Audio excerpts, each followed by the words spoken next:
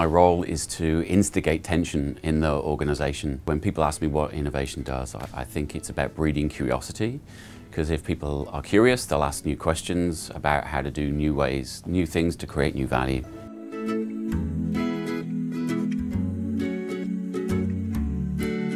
If you take those ideas of breeding curiosity and, and instigating tension, then I think the team does everything from give the creative confidence to go and do new things. So whether that is rapid prototyping people's ideas with their customers or actually just engaging their customers in a different way, or whether it's stakeholder engagement, they're doing programs like that.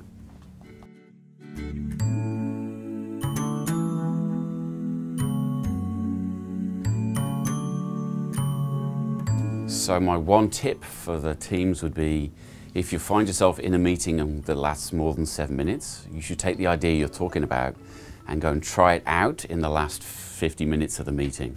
Instead of just talking about it, go outside and try some customers and try the idea out.